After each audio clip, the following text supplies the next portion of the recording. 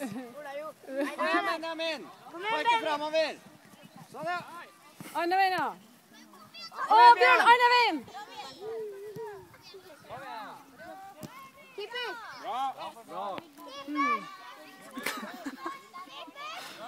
Keepers.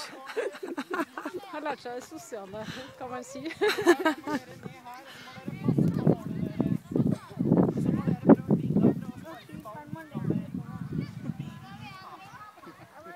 det er bra at den står og sier da. Han må jo det. vet du.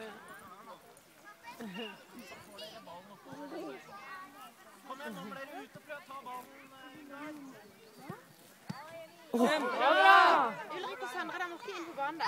Kom igjen, nå, Bjørn.